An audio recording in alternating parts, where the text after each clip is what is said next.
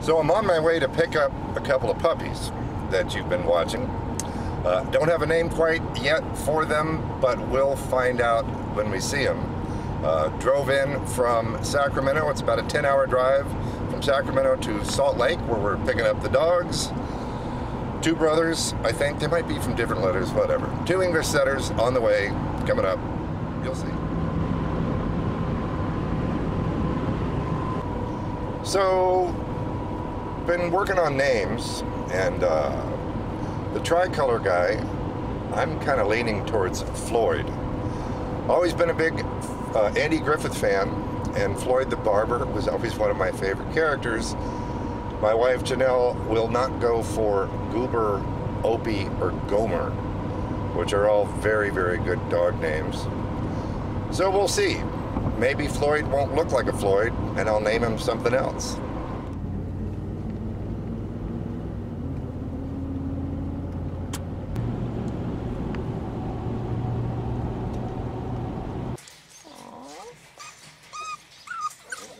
Uh,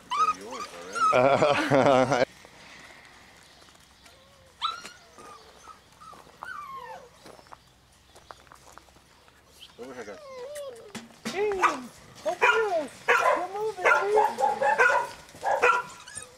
Hey.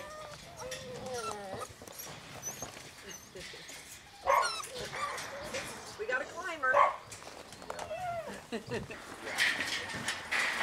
There's Dad. Hey, Dad.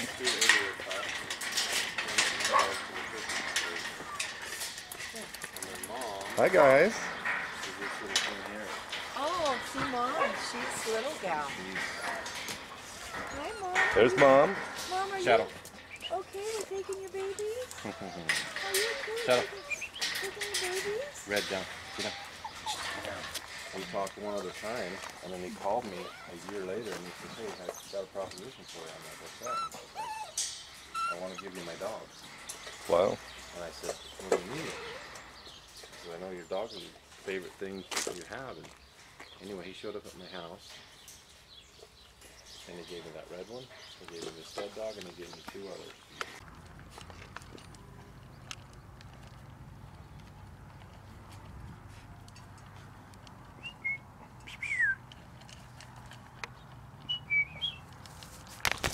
Hi.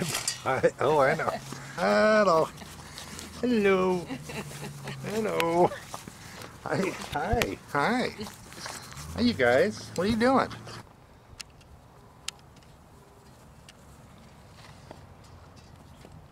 Hi, Floyd. Hi. How are you, Floyd? Hi,